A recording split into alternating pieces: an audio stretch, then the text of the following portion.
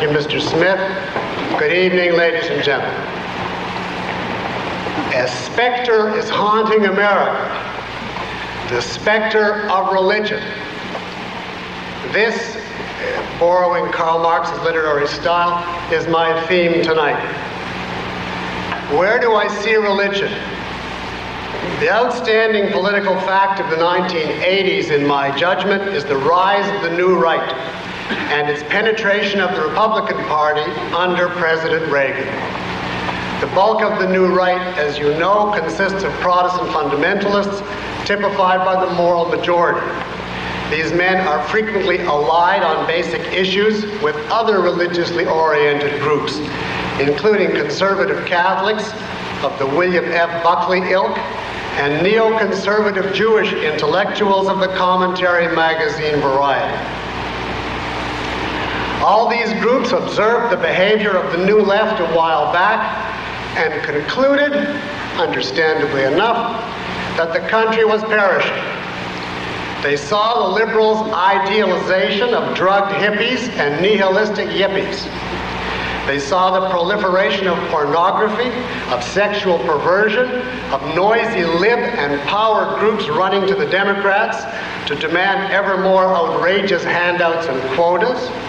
They heard the routine leftist deprecation of the United States and the routine counsel to appease Soviet Russia, and they concluded, with good reason, that what the country was perishing from was a lack of values, of ethical absolutes, of morality.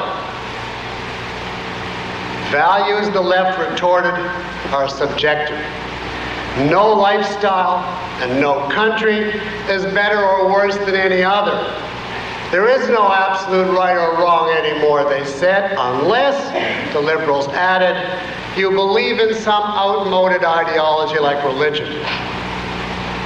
Precisely, the new rightists reply. That is our whole point. There are absolute truths and absolute values, they say which are the key to the salvation of our great country. But there is only one source of such values, not man or this earth or the human brain, but the deity as revealed in Scripture. The choice we face, they conclude, is the skepticism, decadence, and statism of the Democrats, or morality, absolutes, Americanism, and their only possible base, religion. Old time Judeo Christian religion.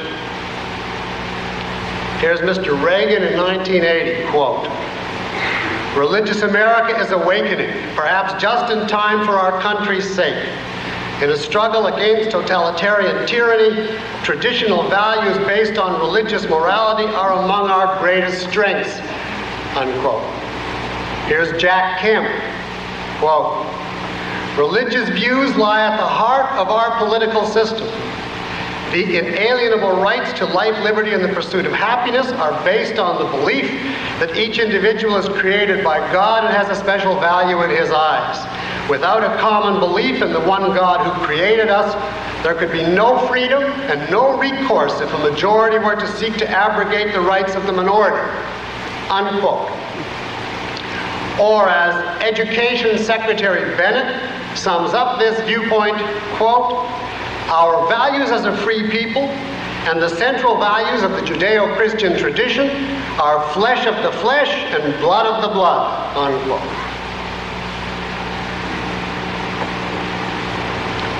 Now, politicians in America have characteristically given lip service to the platitudes of piety. But the new right is different.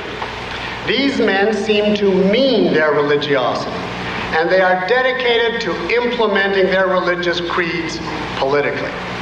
They seek to make these creeds the governing factor in the realm of our personal relations, our art and literature, our clinics and hospitals, and the education of our youth. Whatever else you say about him, Mr. Reagan has delivered handsomely on one of his campaign promises. He has given the adherents of religion a prominence in setting the national agenda that they have not had in this country for generations. This defines our subject for tonight. It is the new Republican inspiration and the deeper questions it raises. Is the new right the answer to the new left? What is the relation between the Judeo Christian tradition and the principles of Americanism? Are Ronald Reagan and Jack Kemp, as their admirers declare, leading us to a new era of freedom and capitalism, or to something else? In discussing these issues, I am not going to talk much about the new right as such. its specific beliefs are widely known. Instead, I want to examine the movement within a broader philosophical context. I want to ask, what is religion? And then, how does it function in the life of a nation? Any nation, past or present. to be sure, these are very abstract questions but they are inescapable. Only when we have considered them can we go on to judge the relation between a particular religion, such as Christianity, and a particular nation, such as America. Let us begin then with a definition. Let us ask, what is religion as such? What is the essence common to all its varieties, Western and Oriental, which distinguishes the phenomenon from other cultural manifestations? In a general way, we may answer religion involves a certain kind of outlook on the world and a consequent way of life. In other words, religion is a type of philosophy. And as such, a religion must include a view of knowledge, which is the subject matter of the branch of philosophy called epistemology. And it must include a view of reality, which is covered by metaphysics. And then on this foundation, a religion builds a view of values, and that is its ethics or morality. So the question becomes what kind of philosophy constitutes a religion? The Oxford English Dictionary defines religion as a particular system of faith and worship, and goes on in part, or quote just part, recognition on the part of man of some higher unseen power as having control of his destiny and as being entitled to obedience, reverence, and worship. Unquote. The fundamental concept here is faith. Faith in this context means belief in the absence of evidence. This is the essential that distinguishes religion from science. A scientist may believe in entities which he cannot observe, such as atoms or electrons. But he can do so only if he proves their existence logically, by inference from the things he does observe. A religious man, however, believes in some higher unseen power which he cannot observe and cannot logically prove. As the whole history of philosophy demonstrates, no study of the natural universe can warrant jumping outside it to a supernatural entity.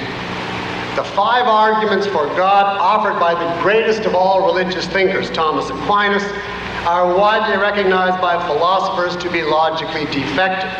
They have each been refuted many times, and they are the best arguments that have ever been offered on this subject. Many philosophers indeed now go further. They point out that God not only is an article of faith, but that this is essential to religion. A God susceptible of proof, they argue, would actually wreck religion. A God open to human logic, to scientific study, to rational understanding, they note, such a God would have to be definable, delimited, finite, amenable to human concepts, obedient to scientific law, and thus incapable of miracles. Such a thing would be merely one object among others within the natural world. It would be merely another datum for the scientist, like some new kind of galaxy or cosmic ray, not a transcendent power running the universe and demanding man's worship. What religion rests on, they conclude, is a true God, i.e., a God not of reason, but of faith.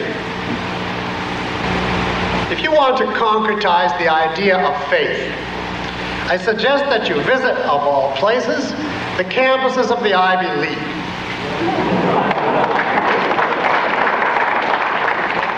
Where, according to the New York Times, a religious revival is now occurring. Will you find students busily discussing proofs or struggling to reinterpret the ancient myths of the Bible into some kind of consistency with the teachings of science?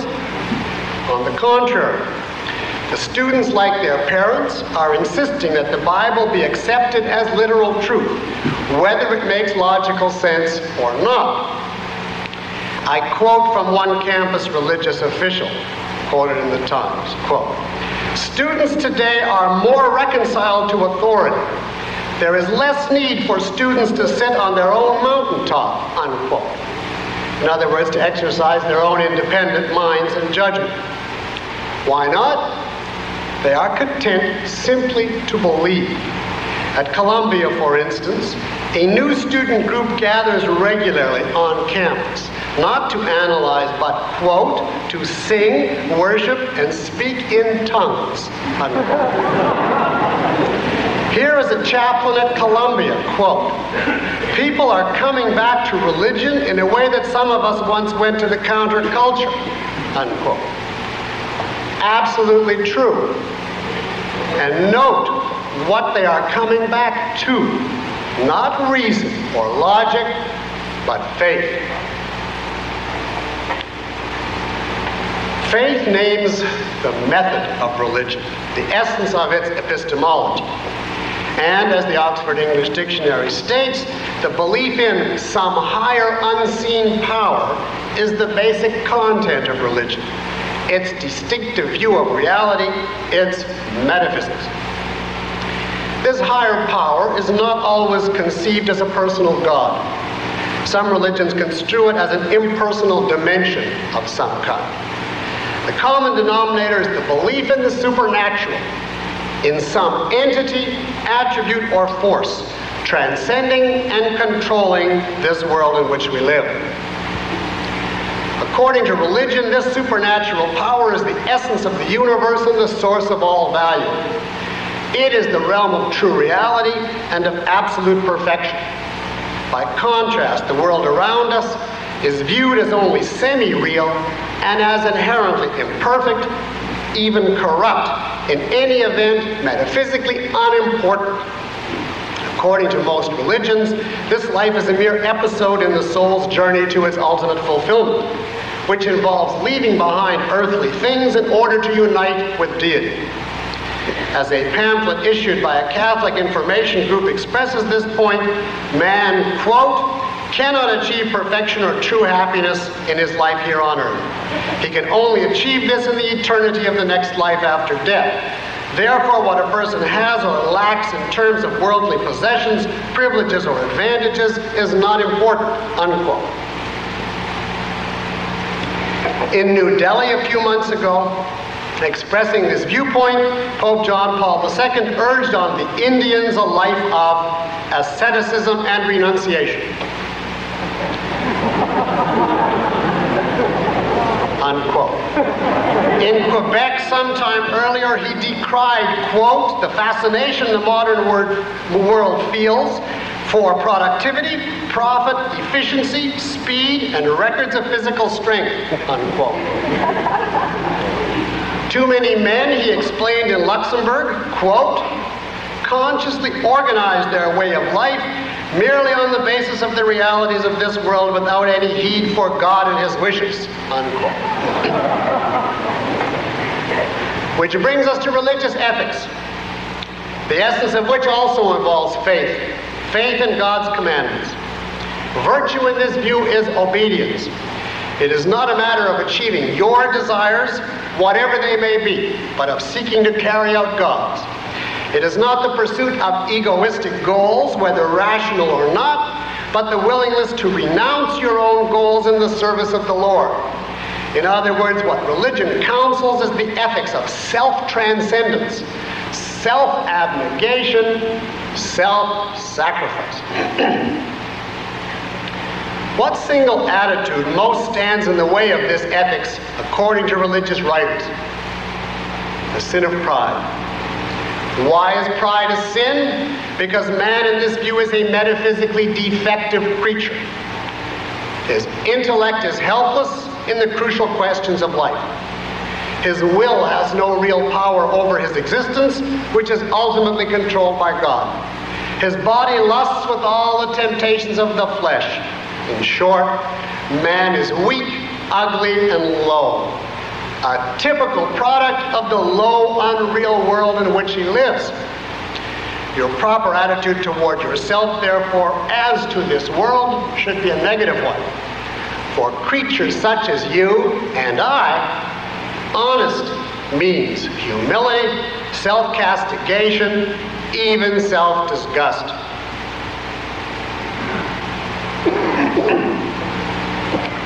so we can sum up so far religion in essence means orienting one's existence around faith God and a life of service, and correspondingly of downgrading or openly condemning four key elements reason, nature, the self, and man. You see that religion cannot be equated with morality or values or even philosophy as such. It represents a specific kind of philosophy with its own specific code of morality. Now our question is, what effect does this kind of philosophy have on human life? We don't have to answer by theoretical deduction, because Western history has been a succession of religious and unreligious periods. And the modern world, including America, is a product of two of these periods, of Greco-Roman civilization and of medieval Christianity. So, to enable us to understand America, let us first look at the historical evidence from these two periods. Let us look at their views on religion and at the practical consequences of these views. Then we will have no trouble grasping the base and essence of the United States. Ancient Greece was not a religious civilization, not on any of the counts we mentioned. The gods of Mount Olympus were like a race of elder brothers to man, mischievous brothers with rather limited powers. They were closer to E.T. Than to, than to anything we would call God. Did not create the universe or shape its laws or leave any message of revelations or demand a life of sacrifice nor in fact were they taken very seriously by the leading voices of the culture, such as Plato and Aristotle. From start to finish, the Greek thinkers recognized no sacred texts, no infallible priesthood, no intellectual authority beyond the human mind. In other words, they allowed no room for faith. Epistemologically, most were staunch individualists who expected each man to grasp the truth by his own power of observation and logical thought. For details, I refer you to Aristotle, the preeminent representative of the Greek spirit. Metaphysically, as a result, Greece was a secular culture. Men generally dismissed or downplayed the supernatural. Their energies were devoted to the joys and challenges of life. There was a shadowy belief in immortality, but the dominant attitude to it was summed up by Homer, who has Achilles declare that he would rather be a slave on earth than, quote, bear sway among all the dead that be departed, unquote. As to Greek ethics, it followed from this base. All the Greek thinkers agreed that virtue is egoistic the purpose of morality, in their view, is to enable a man to achieve his own fulfillment, his own happiness, by means of a proper development of his natural faculties, above all, his cognitive faculty, his intellect. And as to the Greek estimate of man, look at the statues of the Greek gods, made in the image of human strength, human grace, human beauty and read Aristotle's account of the virtue, yes, the virtue of pride.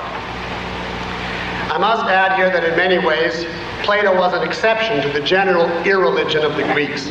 But he was not dominant until much later. When his spirit did take over, the Greek approach by that fact had already died out. What replaced it was the era of Christianity. The Middle Ages, intellectually speaking, were the exact opposite of Greece. The leading philosophic spokesman of the time, Augustine, stated that faith was the basis of man's entire mental life. You know his famous aphorism one must first believe in order that one may then know. In other words, reason is nothing but a handmaiden of theology. It is a mere adjunct of faith whose task is to clarify as far as possible the dogmas of religion.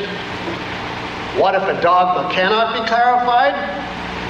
So much the better, answered an earlier church father, Tertullian. The truly religious man, he said, delights in thwarting his reason, because that shows his commitment to faith. Thus, Tertullian's famous answer when asked about the dogma of God's self sacrifice on the cross credo quia absurdum. I believe it because it is absurd.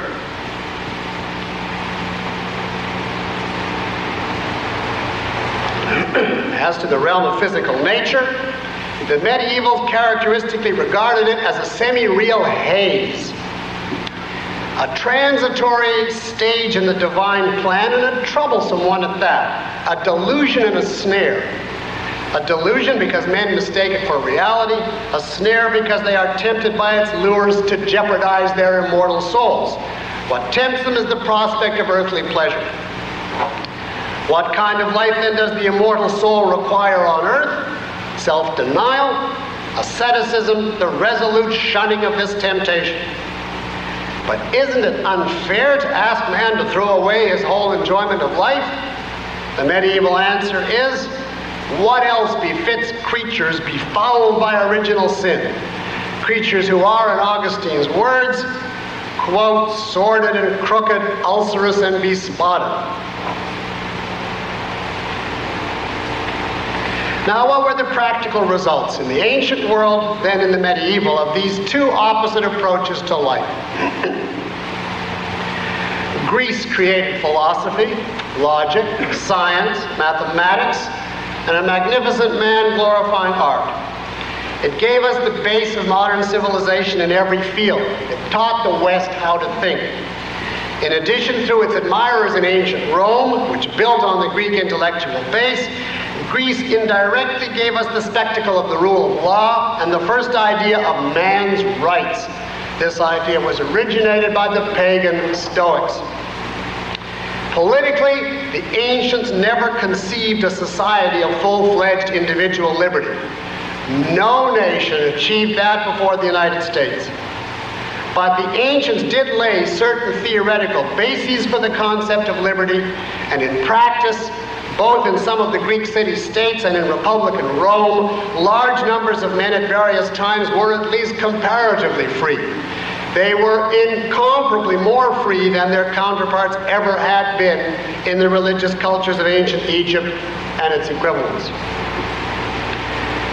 Now, what were the practical results of the medieval approach? The Dark Ages were dark on principle. Augustine fought against secular philosophy, science, art. He regarded all of it as an abomination to be swept aside. He cursed science in particular as the lust of the eyes. In other words, unlike many Americans today, who drive to church in their Cadillac, or tape their favorite reverend on the VCR so as not to interrupt their tennis practice, the medievals took religion seriously. They proceeded to create a society that was anti materialistic and anti intellectualistic. I do not, I assume, have to remind you of the lives of the saints, who were the heroes of the period, including the men who ate only sheep's gall and ashes, quenched their thirst with laundry water, and slept with a rock for their pillow. These were men resolutely denying, defying nature, the body, sex, pleasure, all the snares of this life. And they were canonized for it, as by the essence of religion they should have been. The economic and social results of this code of values were inevitable. Mass stagnation and abject poverty, ignorance and mass illiteracy, waves of insanity that swept whole towns, a life expectancy in the teens. Woe unto ye who laugh now, said the Sermon on the Mount. Well, they were pretty safe on this count. They had precious little to laugh about.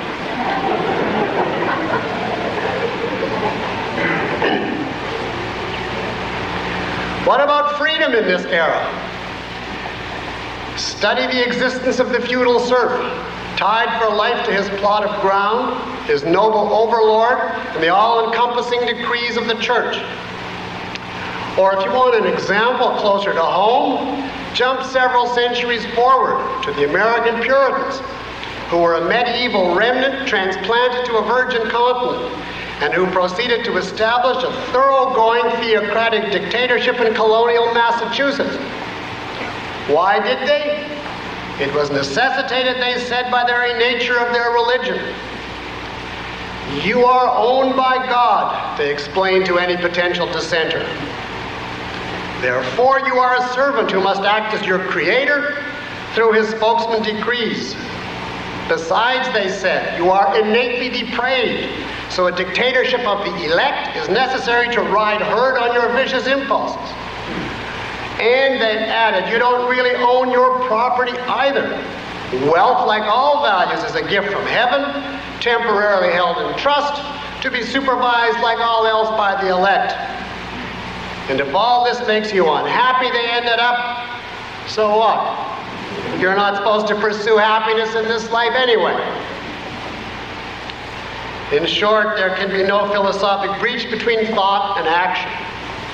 The consequence of the epistemology of religion is the politics of tyranny.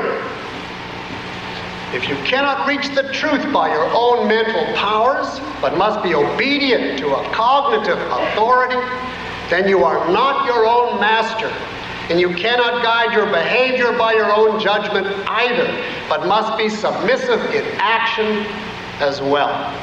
This is the reason why, historically, as Ayn Rand often pointed out, faith and force are always corollaries. Each requires the other.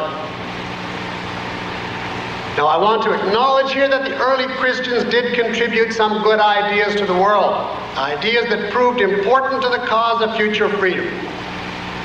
I must, so to speak, give the angels their due.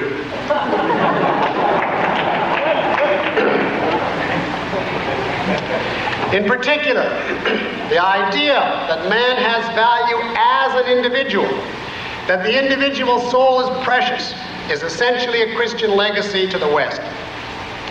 Its first appearance was in the form of the idea that every man, despite original sin, is made in the image of God, as against the pre Christian notion that a certain group or nation has a monopoly on human value, while the rest of mankind are properly slaves or mere barbarians. But notice one thing here. this Christian idea by itself was historically impotent. It did nothing to unshackle the serfs, or stay the Inquisition, or turn the Puritan elders into Thomas Jefferson. Only when the religious approach lost its power, only when the idea of individual value was able to break free from its initial Christian context and become integrated into a rational, secular philosophy, only then did this kind of idea bear practical fruit, as we are now going to see. now let us ask what, or more exactly who, ended the Middle Ages. My answer is Thomas Aquinas, who introduced Aristotle and thereby reason into medieval culture. In the 13th century, Aquinas, for the first time in a millennium, reasserted in the West the basic pagan approach. Reason, he said, in deliberate opposition to Augustine, reason does not rest on faith. It is a self contained natural faculty which works on sense experience. And its essential task is not to clarify revelation, but rather, as Aristotle had said, to gain knowledge of this world. Man, Aquinas declared forthrightly, must use and obey reason. Whatever one can prove by reason and logic, he said, is true. Now, Aquinas himself thought that he could prove the existence of God. And he also thought that faith is often valuable as a supplement to reason. But this did not alter the nature of his revolution. His was the charter of liberty, the moral and philosophical sanction which the West had desperately needed. His message to mankind after the long ordeal of faith was, in effect, it's all right. You don't have to stifle your mind anymore. You can think. The result in historical short order was the revolt against the authority of the church, the feudal breakup, the Renaissance. Renaissance means rebirth, the rebirth of reason and of man's concern with this world.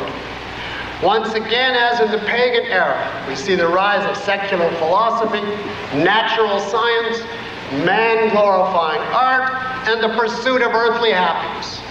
It was a gradual, tortuous change, each century becoming a little more worldly than the preceding, from Aquinas to the Renaissance to the Age of Reason to the climax and end of this development. The 18th century, the Age of Enlightenment. This was the age in which America's founding fathers were educated and in which they created the United States. The Enlightenment represented the triumph, for a short while anyway, of the pagan Greek and specifically of the Aristotelian spirit.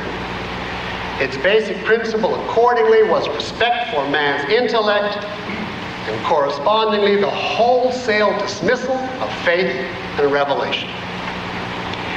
Reason the only oracle of man, said Ethan Allen of Vermont, who spoke for his age in demanding unfettered free thought and in ridiculing the primitive contradictions of the Bible. Here is a brief quote from him written in 1784. Quote, While we are under the tyranny of priests, it will ever be their interest to invalidate the law of nature and reason in order to establish systems incompatible therewith, unquote. Elihu Palmer, another American of the Enlightenment, was, if anything, even more outspoken.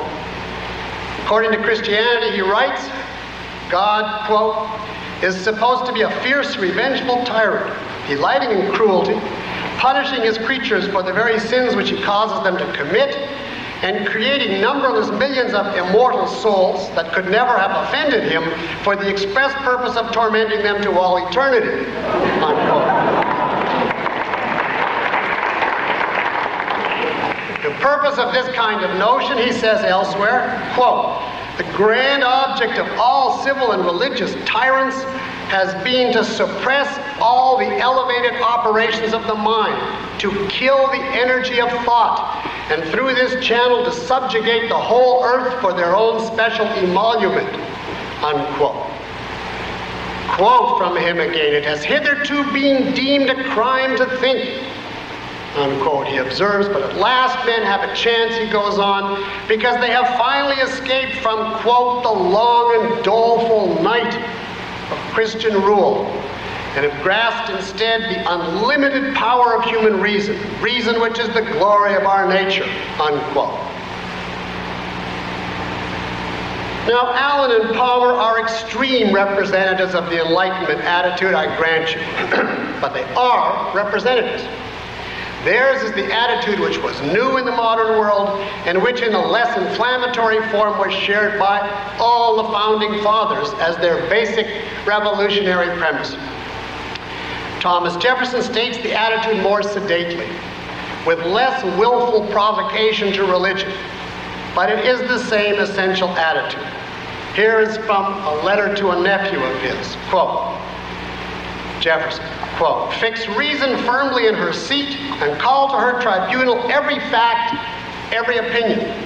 Question with boldness even the existence of a God, because if there be one, he must more approve of the homage of reason than that of blindfolded fear, unquote.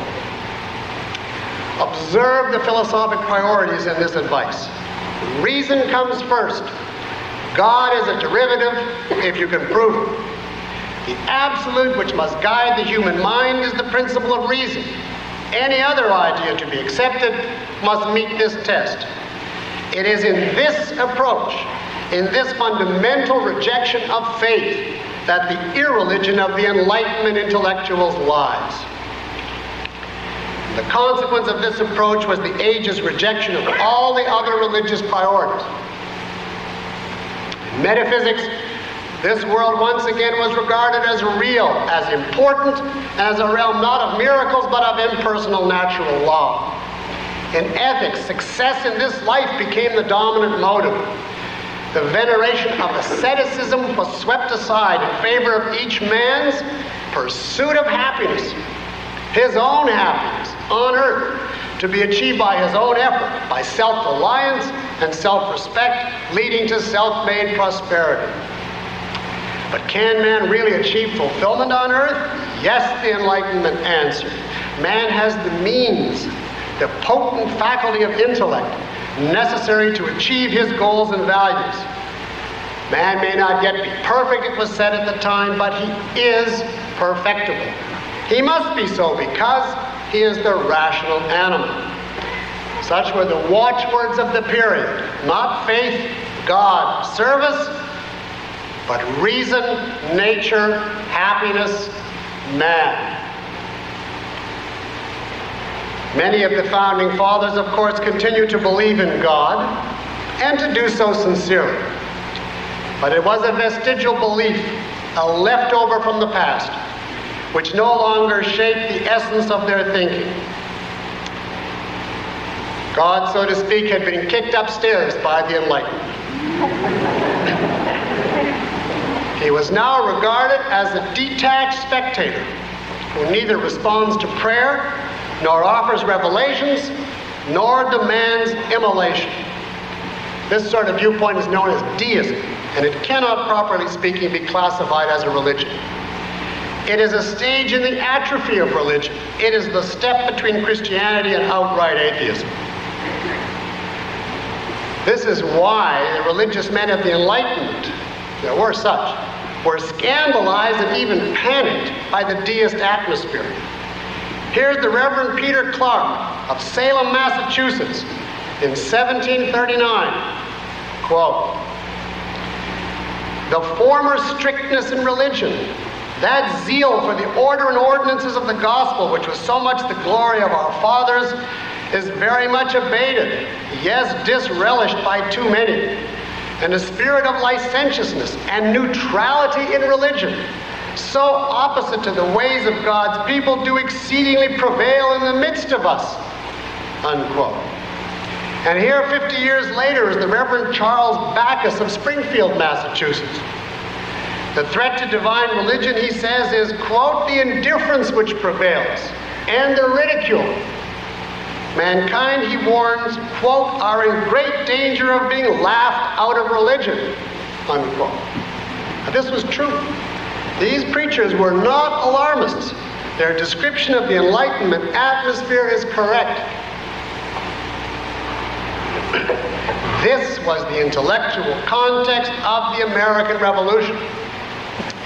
Point for point, the Founding Fathers' argument for liberty was the exact counterpart of the Puritans' argument for dictatorship, but in reverse moving from the opposite starting point to the opposite conclusion.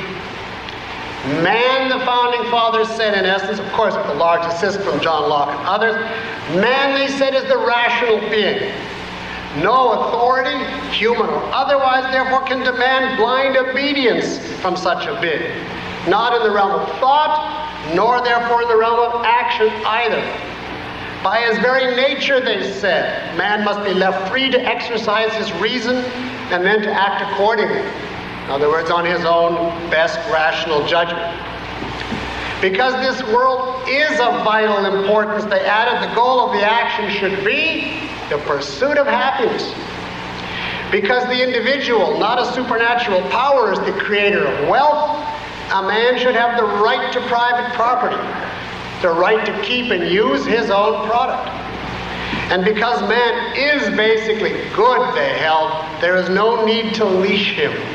There was nothing to fear in setting free a rational animal. This, in essence, was the American argument for man's inalienable rights. It was the argument that reason demands freedom. And this is why the nation of individual liberty, which is what the United States was, could not have been founded in any philosophically different century. It required what the Enlightenment offered a rational, secular context.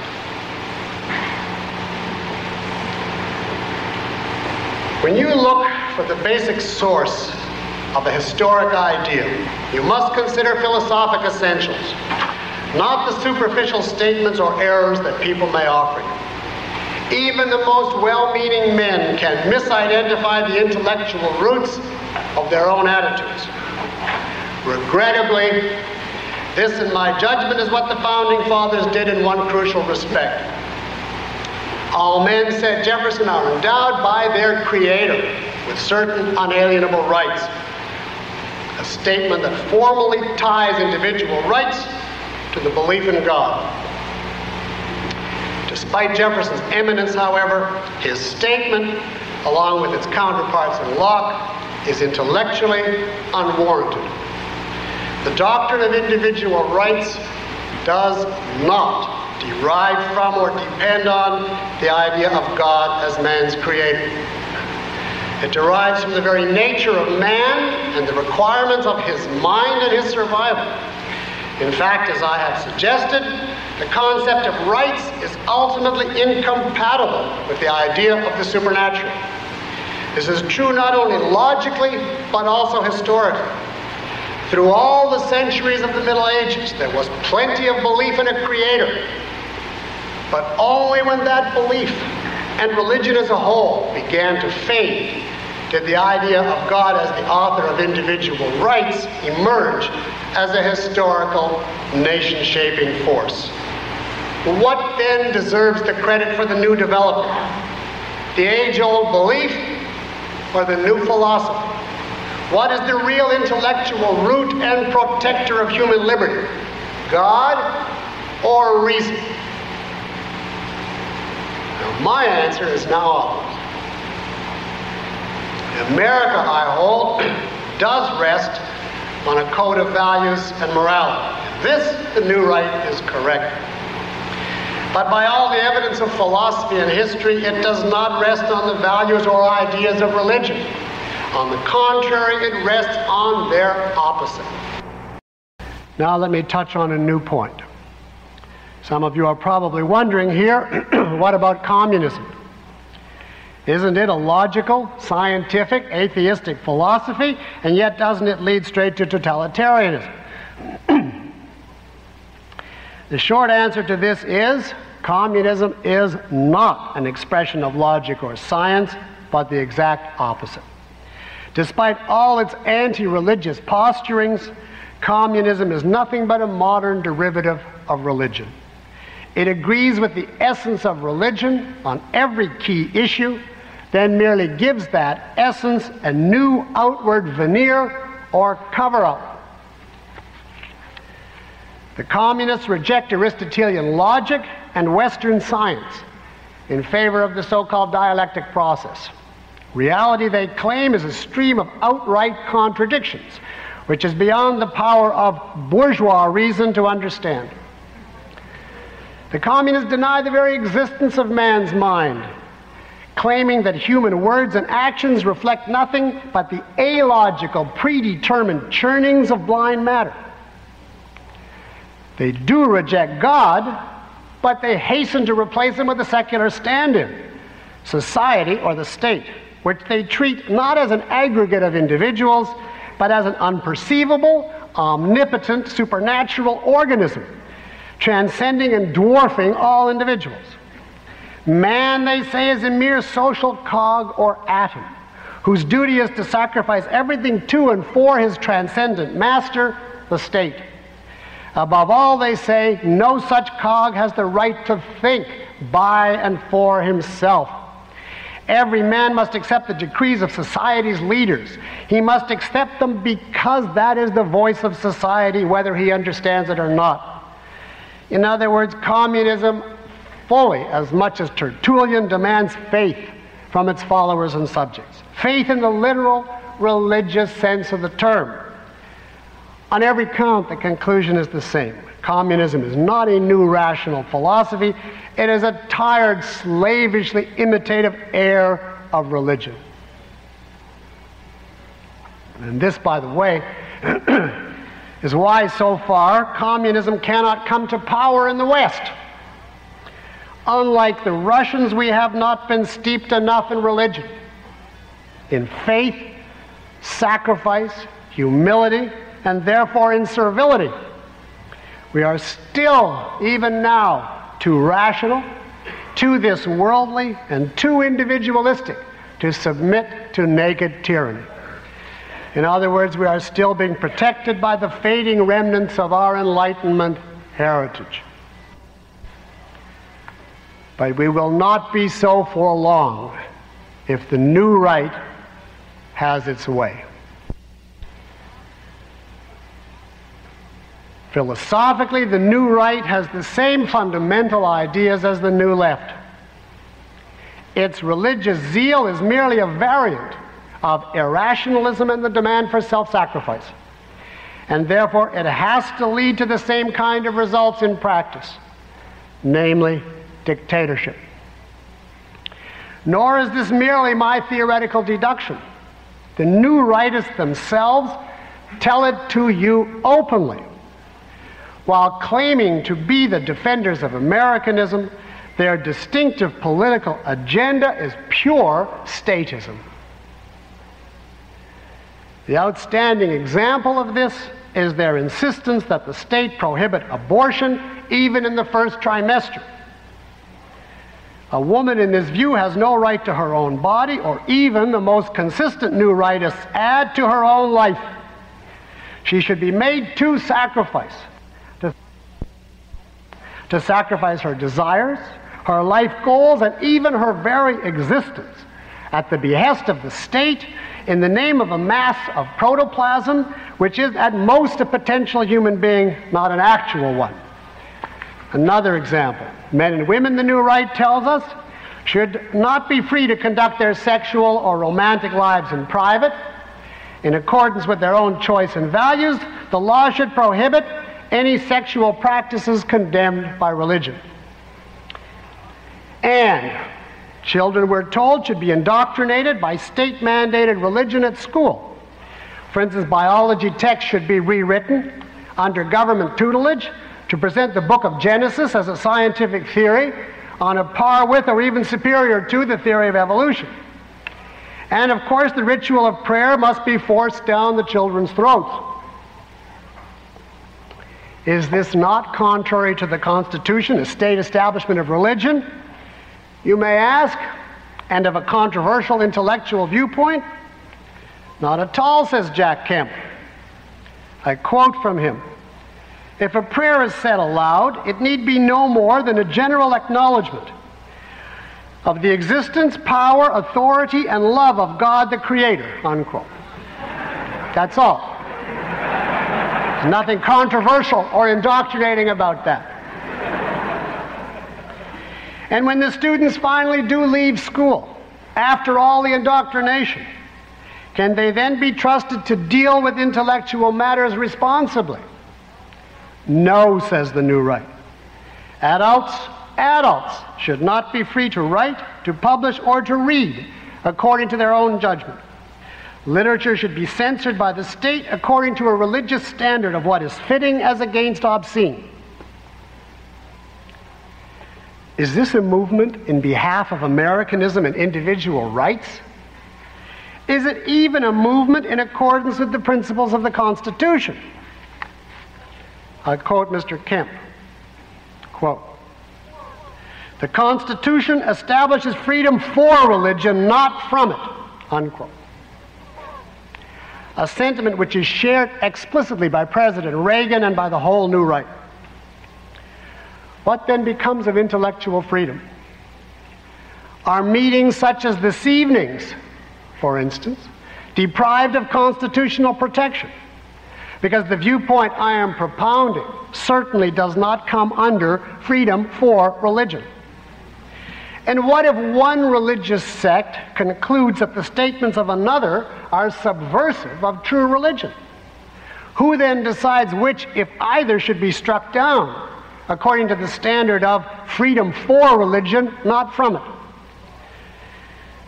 Can you predict the fate of free thought and of life, liberty, and the pursuit of happiness if Mr. Kemp and associates were to get their hands fully on the courts and the Congress? What we are seeing is the medievalism of the Puritans over again, but without their excuse of ignorance. We are seeing it on the part of modern Americans who lived not before the Founding Fathers' heroic experiment in liberty, but after it. The new right is not the voice of Americanism. It is the voice of thought control attempting to take over in this country and pervert and undo the actual American Revolution. But you may say, aren't these new rightists at least champions of property rights and capitalism as against the economic statism of the liberals? To which I reply, no, they are not. Capitalism is the separation of state and economics a condition which none of our current politicians or pressure groups even dreams of advocating. The new right, like all the rest on the political scene today, accepts the welfare state mixed economy created by the New Deal and its heirs. Our conservatives now merely haggle on the system's fringes about a particular regu- regulation or handout they happen to dislike. In this matter, the new right is moved solely by the power of tradition. It does not want to achieve any change of basic course, but merely to slow down the march to socialism and freeze the economic status quo. And even in regard to this highly limited goal, it is disarmed and useless.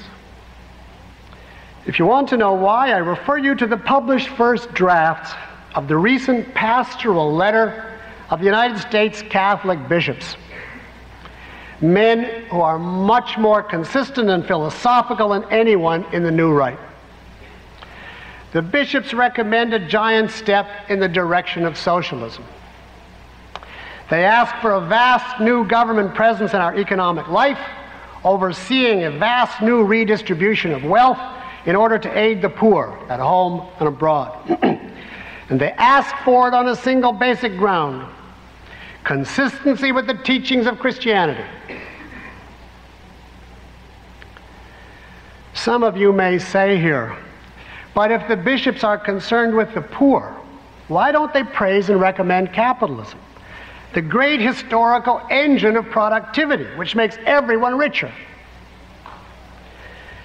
If you think about it, however, you will see that valid as this point may be, the bishops cannot accept it.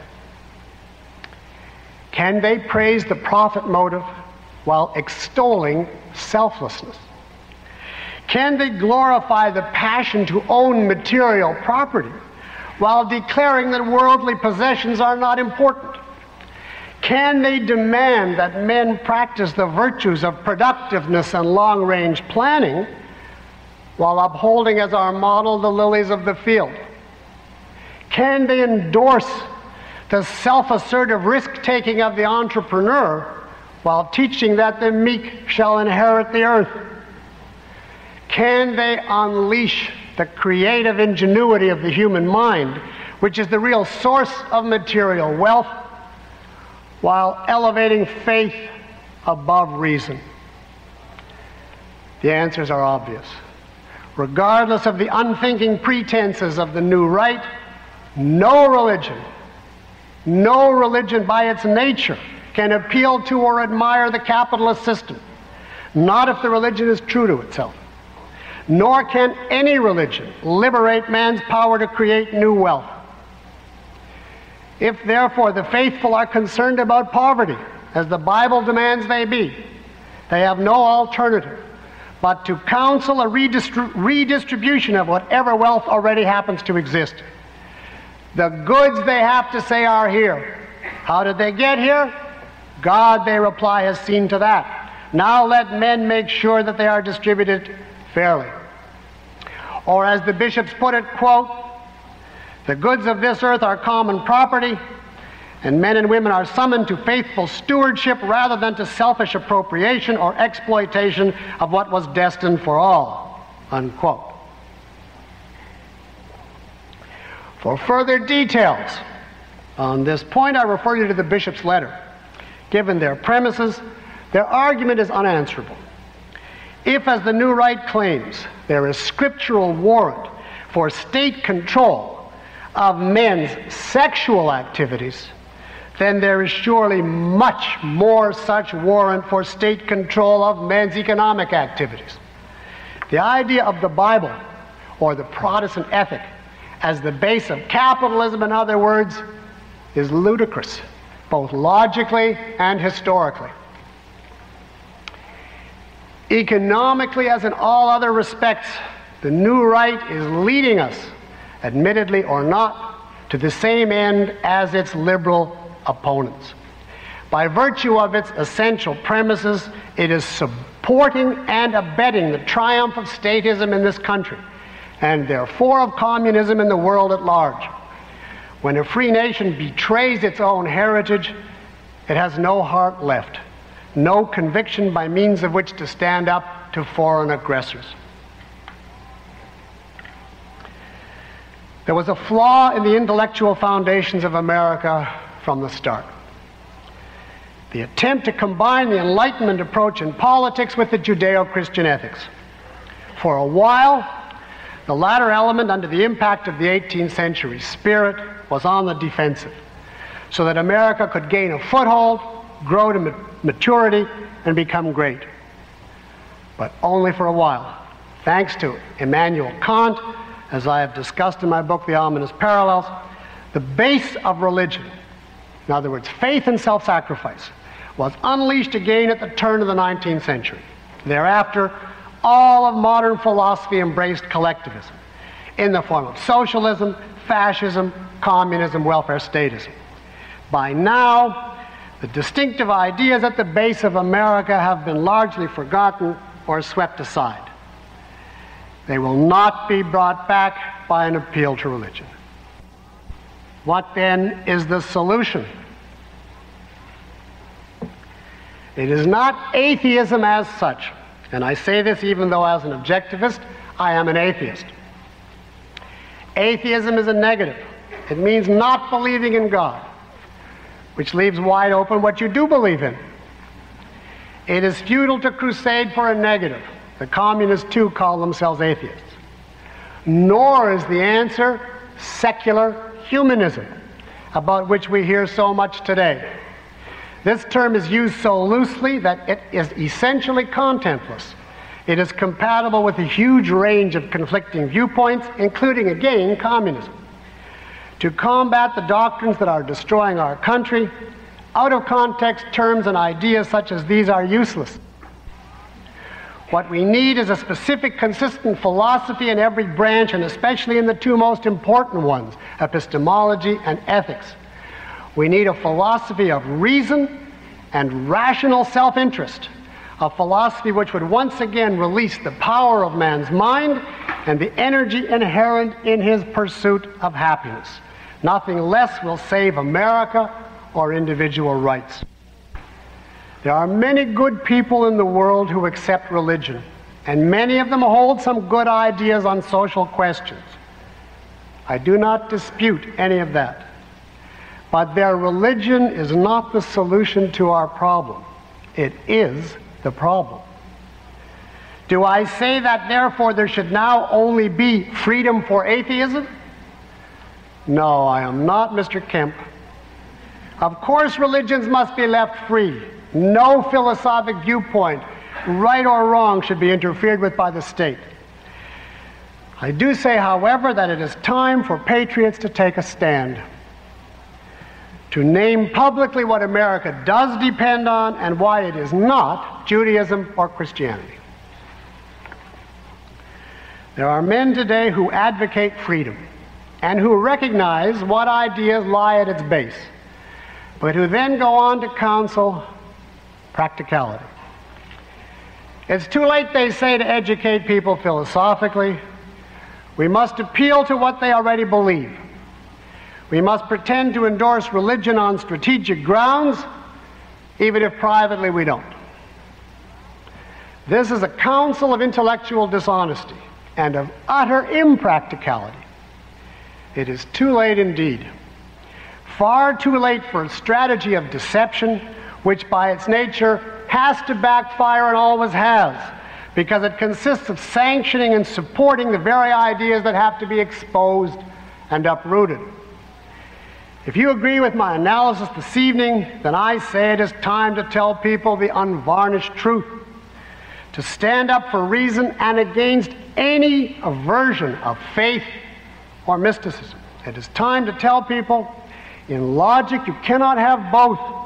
It is unreason, one form of which is religion, versus America. Take your pick. If there is to be any chance for the future, this is the only chance there is. Thank you.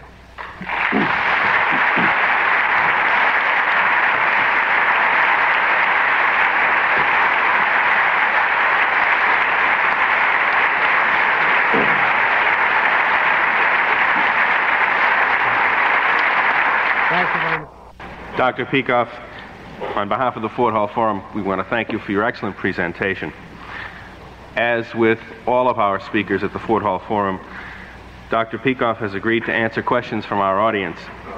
Under our procedures, I will call on those of you who raise your hands moving from my left to my right, and I will repeat the question for the benefit of our audience here and for our radio audience. For my benefit and for the benefit of the audience here, would you please keep your questions brief?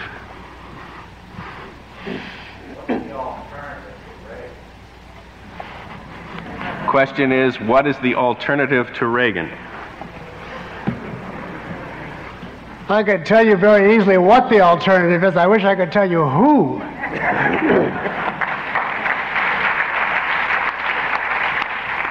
the, the alternative to Reagan would be at minimum somebody who did not attempt to hitch his bandwagon to the new right or to the philosophy of religion. Someone who counted on whatever fading remnants of the old American heritage are still left in the culture. Something like Reagan was when he spoke for Goldwater before he had presidential aspirations and became a professional religionist.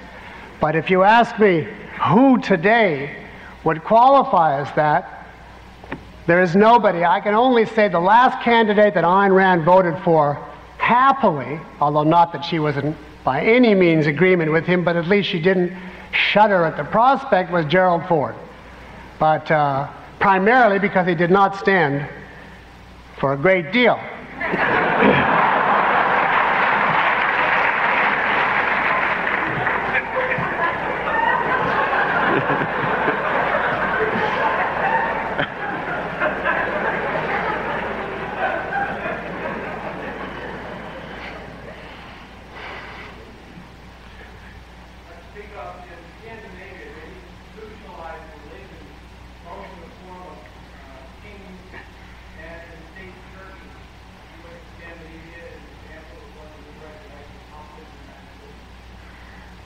questioner asks whether, since in Scandinavia they have institutionalized religion, whether you view that as an example of what the new right would like to accomplish in America.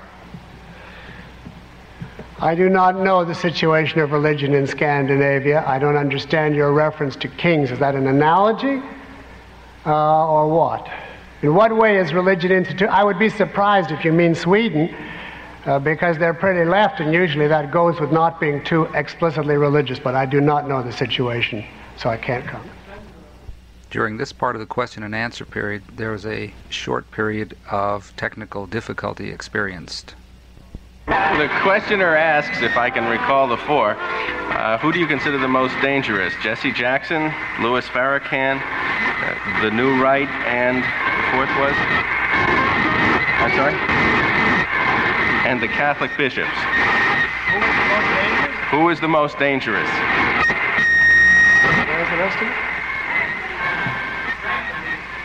And, and who is the least? Well, I don't have an enemies list with rankings.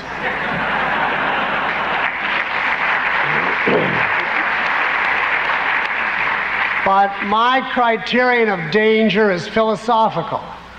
The more philosophical a man is on the wrong premises, assuming he has some influence, the more dangerous I regard him because I believe that philosophy is what shapes the course of history. Therefore, it's self evident on the list you gave that the Catholic bishops are the most dangerous. They are by far the most philosophical of the people you mentioned. Most of the others probably couldn't spell philosophy.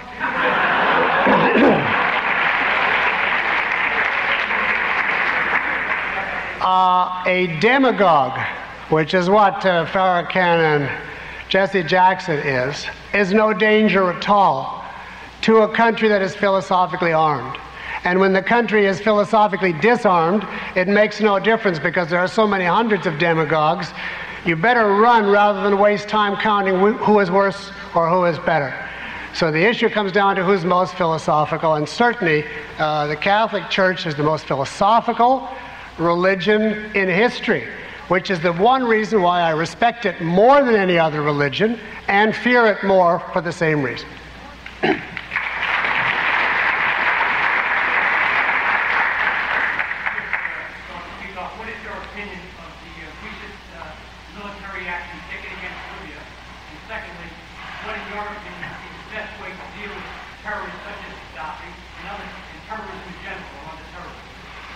questioner asks for your opinion on the recent military action taken by the United States against Libya, and secondly, what, in your opinion, would be the best course of action or strategy for dealing with terrorism?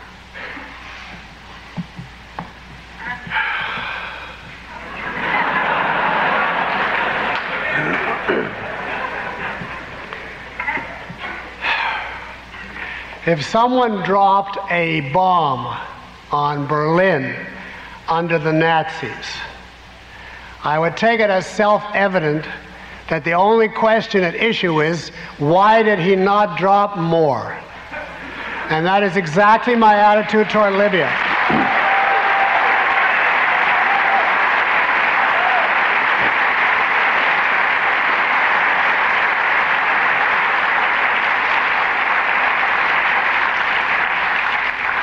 The grave flaw of Mr. Reagan is that, like everything else, he came back with a quote, measured, moderate, diplomatic, inoffensive, middle of the road, pragmatist response.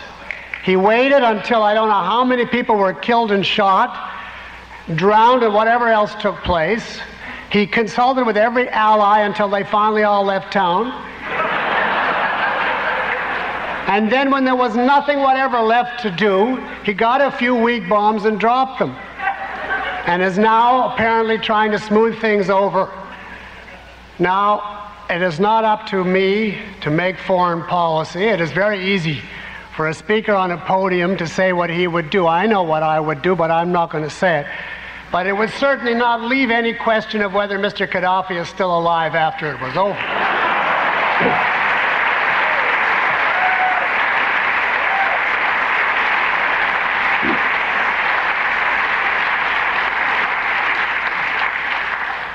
Now, more broadly, what you can do with terrorists, you cannot do anything with terrorists if you yourself are having summit meetings with their sponsors.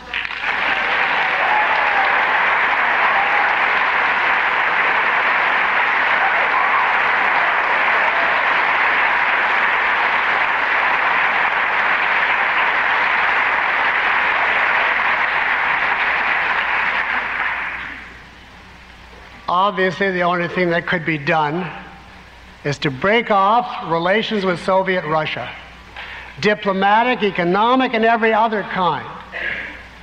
That would in itself save the world and change the entire direction of our policy, petrify the hand wringing Europeans,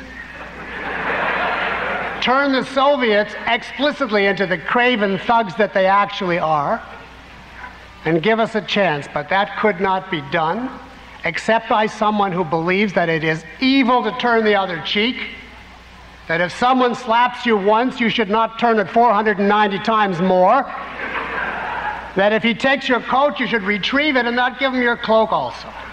In other words, in foreign policy, as in domestic policy, this country cannot survive on the teachings of the Scripture. And our foreign policy is a tremendous example, as bad as our economic policy, of where the Bible has brought us. Thank you.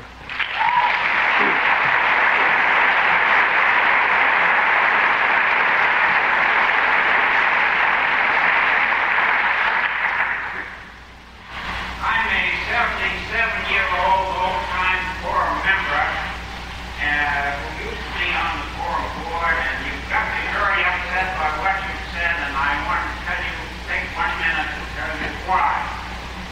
I belong to a religious denomination which has produced more outstanding people in proportion to its numbers than any other religion on the face of the earth. It has been in the forefront of every movement for social reform, both in this country and abroad. It is the religion of Thomas Jefferson, who you quoted, and three other presidents of Albert Schweitzer and Charles Dickens and Horace Mann, and a great many others whom I could quote you. I'm talking about Unitarian Universalism who wait in the search for truth. What about us? The speaker asks.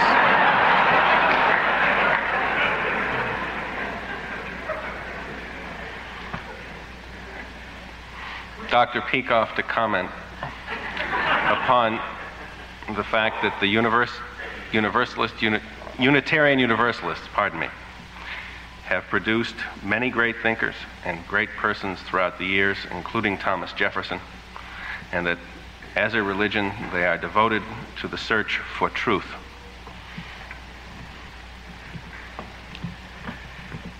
Every religion has produced great people because everybody so far has been religious. So the question is only are they religious because of or despite? Uh, are they great uh, because of or despite their religion? The one you mentioned, I, I like to remain on a high plane of discussing only philosophy and religion in a broad sense and not go to a particular denomination. But since you mention it, I'll have to tell you my own ignorant understanding of Unitarianism, which might explain why, if you're correct, uh, why your, your particular creed has so many distinguished uh, children. I once uh, spoke, worked actually for a man who was a Unitarian, a professor of philosophy in Denver. And I asked him to explain to me what Unitarianism was. And he said, Well, best way I can tell you is when I went the first week, the uh, minister gave a sermon to the effect that there is no God. When I went the second week, he gave a sermon to the effect of the evil of faith. And when I went the third week, he said, We're going to have an open discussion. Where do we go from here? In other words, Unitarianism I do not regard as a real religion in the sense that I was defining it. It's an attenuated uh, form of philosophy that uh, is somewhere, it's like soft atheism. Uh, as I understand it, now I hasten to say there may be many versions of it that I do not know, but that's the best in my understanding. Philosophy, if I can just summarize, philosophy is not synonymous with religion. Any belief in a code of values, a view of life, is not synonymous with religion. I tried to define what I meant by religion. And the essence of it is faith, supernaturalism, and self sacrifice. Anything less than that, I do not regard as a real religion. Why is agnosticism no solution? Questioner asks, why is agnosticism no solution?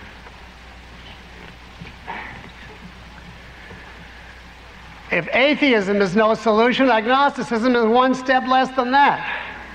The atheist at least says there is no God. The agnostic's contribution to the question is who knows? I don't know of any issue in the world that is important, that is advanced by people saying, my view of it is I haven't any idea.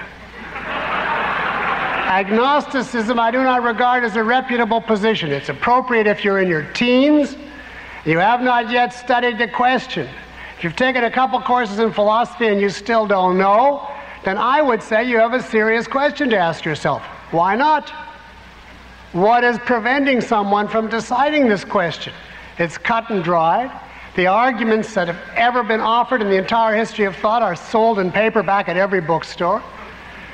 Uh, every consideration that would be required to reach a judgment is there.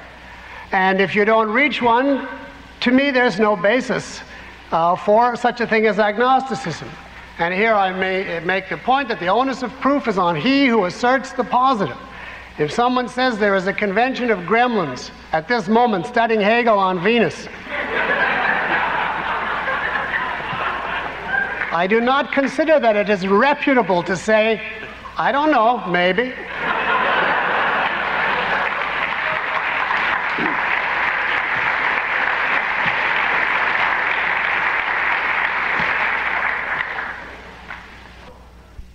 The next questioner asked how the new right uh, defends their stand on capitalism.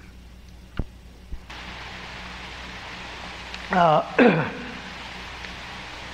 I would suggest if you want to see what a new right attempt at defending capitalism is, read anything by a man called George David Stockman and Ronald Reagan.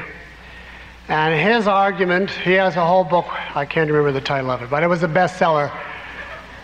Uh, and a few years back, and um, his argument was that the capitalism rests on faith, self sacrifice, and that a capitalist is a man who does not demand evidence, who does things blindly, and harms himself for the sake of others because he realizes that in the end all of our minds are merely drops lost in the infinity which is God and that individuality is really unreal.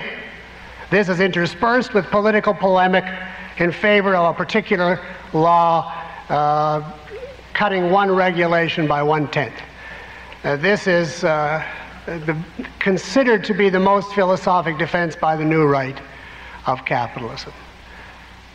I think is beneath discussion.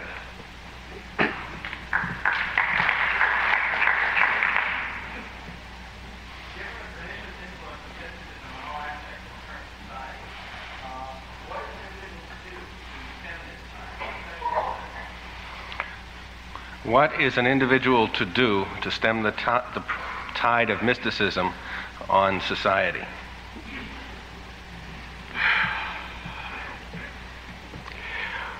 Well, I could say that an individual can't do anything because no one person can change the course of history.